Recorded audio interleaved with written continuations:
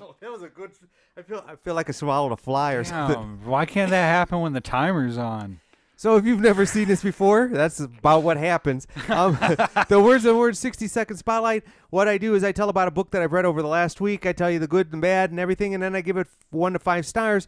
And I do it in 60 seconds or less. If I do, I get fireworks. If I don't, I get to blow them up yes. And he's got the big bombs. I do got the big bombs. And he's itching. He's got that his finger right on the button.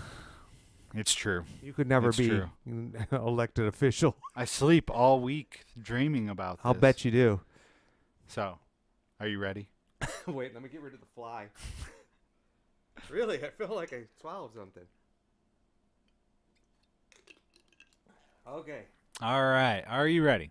I'm ready. In three, two, one. This week's Words of the Words 60 Second Spotlight is on The Last Frontier by Alistair MacLean. Now, even if you've never read a MacLean novel, you've probably seen some of his movie adaptations like Guns of Navarone, Ice Station Zebra, or Where Eagles Dare. Now, Last Frontier is one of his earlier books, but you can already see that he was going to turn into a best-selling writer of spy thrillers. Now, uh, this book is about a British secret, Secret Service agent who has to go behind the Iron Curtain and uh, rescue an important scientist. Now, you adrenaline junkies, there's plenty of captures and daring escapes, as well as some uh, well-written uh, battles and fight scenes. Now, if there's one thing I didn't like, there was a number of times where the main characters would get together, talk about politics of the day, kind of slowed the whole thing down. But you know, I never set the book down. I knew it was going to get back to the action, which it always did. Some people might say, hey, the book's 60 years old this year. And you know what? We got books that are 200, 300 years old, but as long as they're entertaining and they're fun to read, I'm going to recommend them. So, The Last Frontier, Alistair MacLean, four stars, and this has been the Words and Words Spotlight, where we preview a book for you and we do it in 60 seconds or less. With five seconds left. Ooh, I always go into uh, Five mojo hip hop mode when we do clock. this. And I got everything in.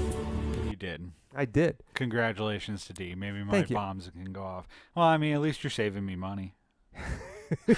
Show Mr. MacLean's book. I wasn't kidding. This was published in 1959. When I talk about the politics, it's kind of neat sometimes to go back to a, an older novel and you get uh, an eye view of the politics of the day. Those were the days it was the uh, you had the Iron Curtain, you had the Cold War going on, and it was Russia against America, and they had their fingers on the button on the the bomb. So, um, yeah, but it's an, it's a good book, and he. If you've never read any Alistair MacLean, he is a writer of spy thrillers. He coming out of the World War II, he was in World War II and and started writing this stuff afterwards. So great stuff. Uh, like I said, one of his earlier books. Um, I actually had this. I'd read it years ago in paperback when we used to have those things. Everything's on tw- uh, Kindle now. Kindle. But it was called The Secret Ways. It was a different name, and that was the American title. Now they're just releasing it under what he um, he was a British writer, so his title over in Britain. All right. Well, if you want to go check out the book, we will have a link down in the description along.